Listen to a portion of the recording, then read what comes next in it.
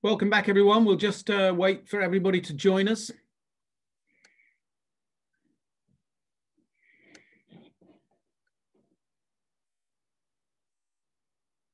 Welcome back. Just wait for everybody to join us.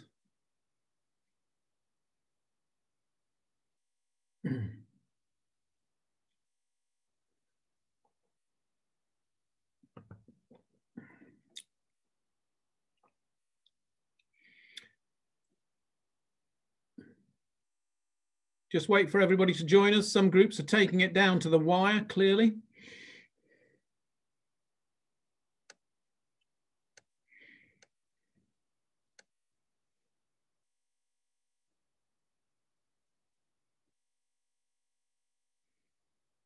Nearly back.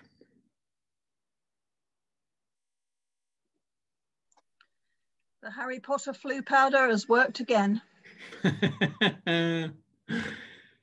Okay. Um, so, um, love to hear your comments and thoughts and reflections. If you do want to, um, uh, yeah, if you yeah, raise a blue hand, if you go on the participants tab at the bottom and click to the right, you'll see there's the opportunity to raise a blue hand and Tiffer is leading the way as a model example followed by Tony. So Tiffer. Thank you. you um, you, you've uh, you've meant you've kind of looked at a lot of the different biblical verses or biblical um, pros and cons, I suppose. Um, one of the one of the things that comes up most often in the discourse about universalism, but but could be applied to any of them, is this idea of a post-death repentance opportunity, or even multiple or infinite. And that's something I've never really seen in Scripture, uh, um, uh, and I wonder whether I wonder kind of where that's come from, whether there is some Scripture warrant, whether it is a, an early something that's been played with by the fathers. I'm just wondering if you could say more about that. Yeah, um, so I think one of the places that's come from is the idea that um, actually none of us are the finished article at death. Uh, as I'm sure we'll all agree. Um, and one of the ways in which that's been worked through has been something called purgatory, which I guess many of you will be familiar with. Uh, and and uh, the Roman Catholics um, advocate uh, a purgatory, which is a time of moral purification to enable us to take our place with the saints in the kingdom of God. Um, now, um, the, the, there's a bit of a problem with that because um, Tom Wright and Anthony Thiselton and other people say there doesn't appear to be any scriptural warrant for this.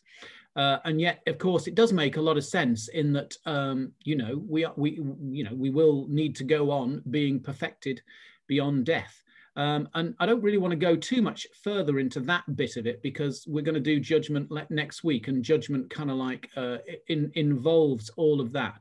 But in terms of uh, the scriptural war warrant for post mortem uh, repentance, I, I mean, there, there, are, there are some passages that you could kind of look at in that way. So, for instance, um, when, when Paul says saved through fire, if you remember, yeah there's an argument that actually uh, the, the, the, fire there is the fire beyond death and that there is the possibility of repentance there. But the, the scriptural warrant is fairly thin, I'm afraid, for post-mortem repentance. Having said which, the doctrine of the love of God is such that if we understand that God loves us more than any love we have ever experienced from anybody else, then there will be a, a, kind of limitless approach of God to enabling us to come to God in terms of union. Uh, and therefore, sometimes it's actually that, that, a very high doctrine of God that is kind of um, emphasizing that even beyond death, there is the possibility. So, but in terms of your original question, there's the, the, the scriptural warrant is pretty thin.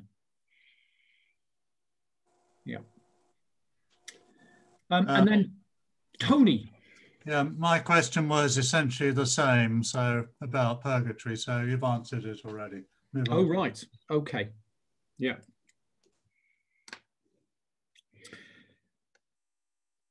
Um, uh, yeah, Kathy.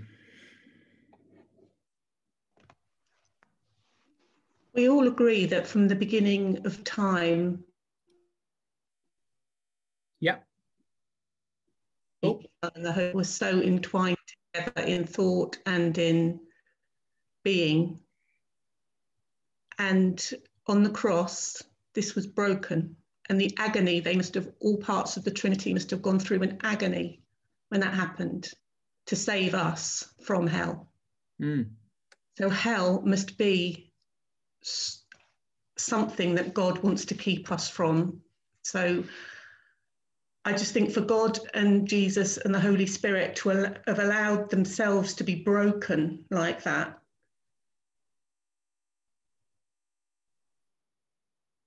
Can't be because went through so much to prevent us going there. Yeah, absolutely. And I think um, we, we need to, as I say, really elevate that doctrine of God's love when we're looking at this matter because um, there, there is a, a costliness to the incarnation, a costliness to the life, the death, and the resurrection, a costliness in the life of the Father and in terms of the Spirit, which should be of huge reassurance to us. Um, in, uh, and, and, and also uh, a kind of uh, a, awareness, therefore, that we're really going to have to go out of our way to, uh, you know, get away from this um, ever seeking, besotted, uh, all desiring, all sacrificing love. If, if you know, we've really that, which is why I quoted Dallas Willard saying, "It isn't by an oops or an oh dear, I didn't tick the yeah. right box. This is something we've re really got to go out of our way for, for not wanting, for refusing and rejecting." Yeah.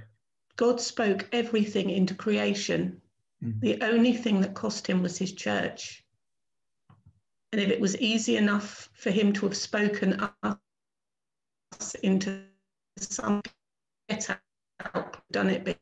So therefore, hell must be something for him to have gone through what he did.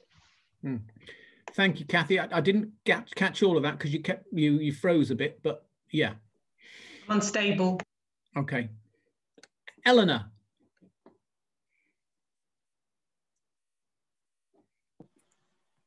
Thank you. Uh, I did notice, although you put up a range of um, biblical verses early on in your talk, Bishop Mike, a lot of them were from the Gospel of Matthew. And Matthew mm. does seem to be the one who puts the greatest emphasis on the wailing and gnashing of teeth. Mm.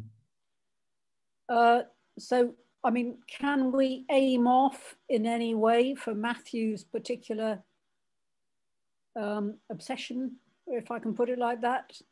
Yeah, I mean, we, we could argue that that is a kind of, we could argue that that's a rhetorical device. Um, you know, the, the, weeping and wailing and gnashing of teeth. And I think sometimes we're not we're not as open as we should be to Jesus' eloquence in the use of metaphor and rhetorical device. I think you know.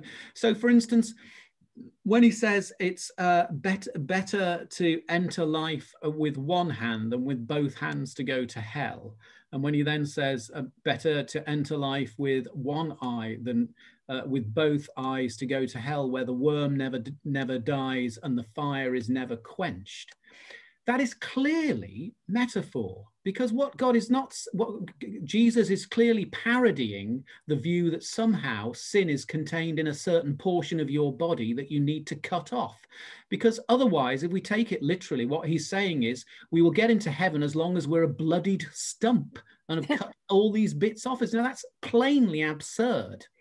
So, you know, there clearly is metaphor uh, very much heart and center in that kind of thing, and we need to be aware of it and, and certainly the weeping and wailing and gnashing of teeth, which is indicative of uh, remorse and loss, is is certainly it's not you know as the famous preacher said you know teeth will be provided. That is far too literalist an approach to it. Okay, thank you. Yeah, Anthony. Sorry, Anthony, you're on mute.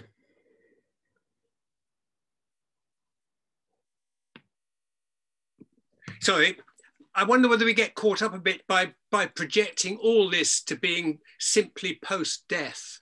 And therefore that, you know, they're simply destinations, one, you know, heaven, which we're going to come to and hell, um, as opposed to an experience, an experience that begins now, you know, heaven is to, is to live, is to live with God and hell is to live separated from God. And more than that, I think also we, and because of that, we we see hell as something which we can usually condemn other people to. They're going to hell, whereas actually, I guess it's what it's more useful for is you know, as in this the Ignatian exercises when he posits that is, is to get us to look at it and said, be careful because that's where you'll end up if, but not so much as a as an yes, it will be an ultimate um, destination, but it's actually somewhere where you're you'll end up now. Yeah. So it, does, does that make any sense? It's a bit muddled, but it, it, no, it does make perfect sense, and I think we see good examples of that in, for instance, Paul. You know, one of the reasons Paul can sing with joy in prison with Silas uh, after being battered and bruised is because actually he is, uh, well, he calls it union with Christ, but John's gospel calls it eternal life, which is here and now. So there is something about, you know, that, that um, living in the kingdom of God, the heavenly realm here and now for Paul, that actually transforms what we might regard as something akin to, you know, hellish. Uh, St. Catherine of Siena said it's, uh, it's heaven all the way to heaven and it's hell all the way to hell. Um, and, and John's gospel is clear that it, eternal life begins in the here and now. It's not that we are not united with our Lord here and now if we would have it, but quite the opposite. There's every opportunity. Uh, heaven is in session. heaven is in session right now. The kingdom of God is at hand. Jesus' first words in Mark's gospel. So, yeah, absolutely, Anthony. That, that there is a, a danger that we kind of like project it beyond this life when actually heaven and hell reach into the present life and we have the opportunity in the here and now. Thank you. Um, then synth, I don't know who, what, what's the order? Um, um, C and M Davidson, I've got next. That's, that's Chris. Chris, Chris, hello, Chris. How are you doing? Sorry. Um, no, it's quite all right. It's uh, our shared. It's our shared. It's our shared tablet. Um, I need a new laptop. Anyway, um, I've got that wonderful icon, and I can't find a postcard with it on. It is somewhere buried in this room of the harrowing of hell. Yeah. And I, I love that icon. And It gives me great um, comfort at Easter time. Would you like to say something about it, Mike? Uh, yeah, I would. Um, I, I, I, mean, again, I don't want to steal the thunder from uh, uh, heaven, really, uh, but um, yeah. I, I, I, suppose you know th- uh, th- that is uh, the icon for those of you who don't know it is Jesus Christ. Uh, it's it's either one Peter or two Peter. I've forgotten where.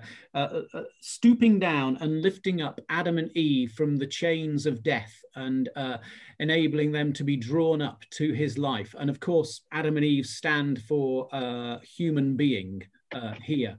But what's really interesting to me in that icon is not only that the chains are being loosed and that it's Jesus stooping down and finding them, just as in the dynamic of the incarnation, he finds us, but that also as he draws them up, he is drawing them together. Uh, whereas in Genesis, in the creation story, they ended in enmity, blaming one another and hostile to one another part of the gift of being raised up under the heavenly direction is that we are brought together and reconciled in a wholly new way, echoing, you know, uh, parts of Ephesians. And, and, there's something really important uh, to my mind about how our relationships are not merely restored, but transfigured through through love and forgiveness and reconciliation, so that um, in contrast to um, heaven being a fuzzy realm and this being a very clear realm, the opposite is true, that we will, we will have that much greater clarity in our loving and our uh, support and encouragement of one another in the heavenly realm because we will have been brought together in Christ in a wholly new way. So, so that's one of the things I'd say about that icon. Thank you. Um, now we've got Sally. Ago. Um, I remember you said in the previous talk where you, you, said where was Jesus on Saturday or something, and you said he went to see his friend Judas. Mm. In between the Friday and the Sunday. I did. And which is a nice thought. Uh, uh, but I think my, my other thought is that you you you can't really know what somebody else is going on in their heart because I was with my, my father for the last few weeks of his life and you know he definitely had an encounter and then afterwards, you know, when I had a, a Christian funeral for him, several people said, "Well, why did you do that?" Uh, but I, I knew he'd really had experiences in the in the last few weeks and days of his life. Yeah. So you can't you can't judge from outside how people are how people are encountering God. Absolutely, and and certainly we'll we'll talk a bit more about that in depth in terms of uh, judgment next week. But um, isn't it intriguing that Jesus on the cross, uh, who says to the thief, "You today you will be with me in paradise." Um, uh, presumably, the thief was uh, a, a, fairly dissolute character, uh, but um, you know, it, but but one more example of the love that keeps on seeking and keeps on searching for us. And and you know, in the example of Judas on Holy Saturday, uh, th- th- that uh, very young theologian, that young girl who said, you know, where was Jesus on Holy Saturday, searching for his friend Jesus, uh, uh searching for his friend Judas. It, what she what she understood as a budding theologian there was the, that there were no boundaries to uh, God's seeking love in that yeah and uh, but you're absolutely right. Yes we certainly are not in a position to to judge the hearts of others. And therefore one of the reasons why i wanted to mention cs lewis earlier on and actually to talk about this is about us and it's not if we make it about somebody else then we're already moving into a situation of, of, of judging others and lording it over rather than taking the spirit of the gospel and applying it to ourselves primarily. Mm. yeah Thank you. Thank you, Sally. And then Cynthia, who's in the dark by the looks of things, but yeah, I'm sorry. I uh, I chose not to be on vision at the start because I was eating my supper. oh, no problem at all. I would have got very hungry watching you. um, I hope you can hear me anyway. Um, I was remembering, uh, thinking of the three alternatives you gave us eternal punishment, yeah. annihilation, and universalism. Um, the one that would appeal to me most would be Annihilation. But I suddenly remembered the French play Huis Clos, No Exit, um, which maybe not everyone is familiar with, where people die and find themselves in a small room with two other people. And the two other people are totally inimical to them. And they have an eternity of living with people that they find quite hateful and it's other people that are their torment. Um, and I certainly know people in this life that I would absolutely hate to spend my life with. um, and I can imagine that that's another version of hell, hell being other people. So Jean-Paul Sartre said that. That's hell the one. That's the one. People, yeah. didn't he? And yeah. I think um, the problem I have with Jean Paul Sartre is he doesn't take 1 John 3 2 seriously. Oh, tell uh, me that. which says, uh, uh, It remains to, me, to, be, to be seen what we shall be. But we know that when he appears, Christ Jesus appears, mm-hmm. we shall be as he is, for we shall see him as he is, which suggests we are on a road of transformation here. And we will all, in very different and unique ways, begin to resemble more and more the image and likeness of Jesus. So um, to picture that room as having two intransigent and unchanging and hateful people is not actually an image of the dynamic notion of the kingdom of God, where we are forever moving closer and closer to the image and likeness of God. Even if we have chosen that we want to go the other way. Oh, sorry. I thought he was talking about the kingdom of. I thought you were talking about the room as the kingdom of God. Are you talking about in the? No, no. I'm talking way? about that as hell. I'm, oh, okay. That is hell. He, he, he saw hell as being condemned to be with other people who are quite hateful. Right. Oh, interesting. Well, Dostoevsky talks about it as being having the incapacity to love as, uh-huh. as hell yeah or rather the the capacity only to love oneself so whether or not so everybody else would be hateful in that respect in as far as they came between you and your self-serving agenda so dostoevsky will probably multiply that room by any number of people which, yeah. which begins to get rather rather yeah unattractive really doesn't it yeah. hmm. um well, I don't want to really end on that note, um, but Jane, Jane, last last comment, and then then we'll need to end with a prayer, and I've got another piece of music for us to end with. But Jane. Yes, it was really related to what Cynthia was saying because I'd also thought of that quote of hell being other people. Uh, because when you were talking about um, hell being the best option for those who chose not to be with God, I thought how how can one live you know, a life which is a good option away from the love of God and with other people who have rejected the love of God for, the, for that very reason. I think in the end, you more or less covered that in your talk with Cynthia, but it just struck me very forcibly. Mm-hmm. Yeah, and I think it's interesting, isn't it? I mean, you know, we can hypothesize till the cows come home about the nature of, of this, but uh, uh, uh I, have forgotten what other writer described hell as actually a growing separation and distance from one another. Yeah. In opposition to the icon, uh, which we mentioned earlier, which is a drawing together. So mm. actually, uh, the, propelled perhaps by the thought that the agony is other people, we become progressively more separated and isolated but that in itself is is is you know not is the opposite of our vocation as human relating beings yeah, yeah. um we're going to have to stop so um thank you all um I would like us to end with a prayer, and I do want us to keep front and center whenever we're talking about this subject that we do not dishonor the doctrine of the love of God in all of this, which is greater and wider and deeper than any of us can conceive. Mm. And uh, stammering, we stutter to echo the heights of that God of love as best we can. So let's just pray.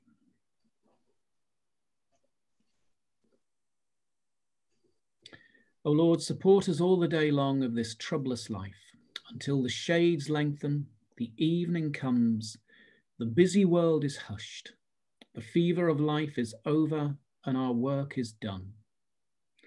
Then, Lord, in your mercy, grant us safe lodging, a holy rest, and peace at the last. Through Jesus Christ our Lord. Amen. Amen. Amen.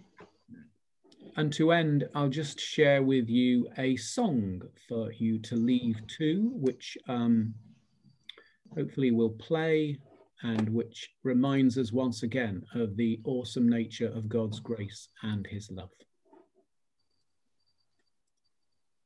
Oh, there are some books, by the way. the one in the middle is kind of like a little bit related to my theory, preparing for heaven, but you've got a universalist and a uh, so you've got lots of possibilities.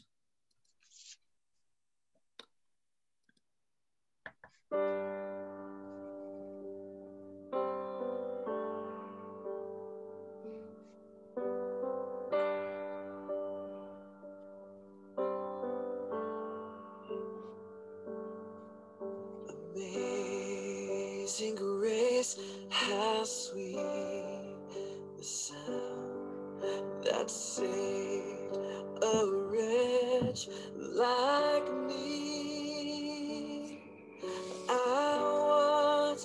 shield and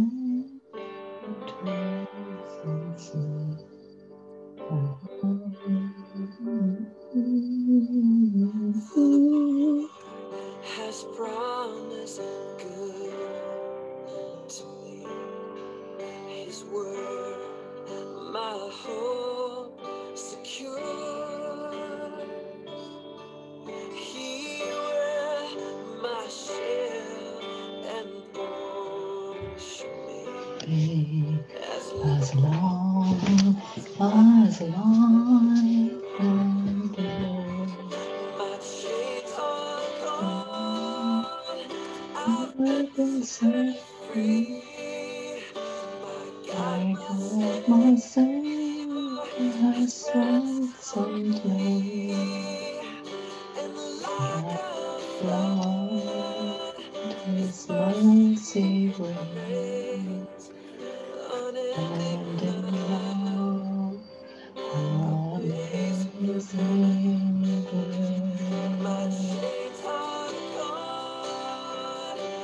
I've been set free.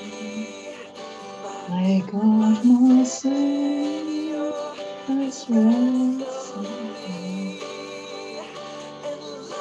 And like a flood, His mercy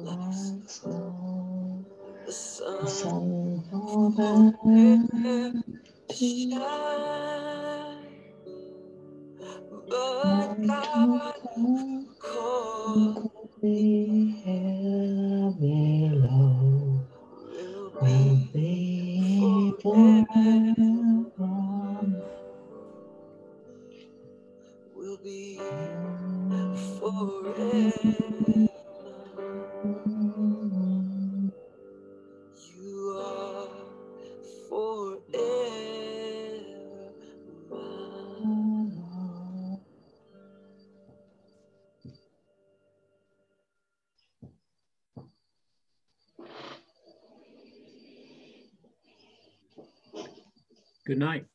Good night. Thank you so much. Thank you. Thank you. Thank you. everyone. Yes, enjoyed you. it. Thank you very much. Thank you very much, Bishop Mark. Thank you. Bye, everybody. Bye-bye. Take care. Thank you.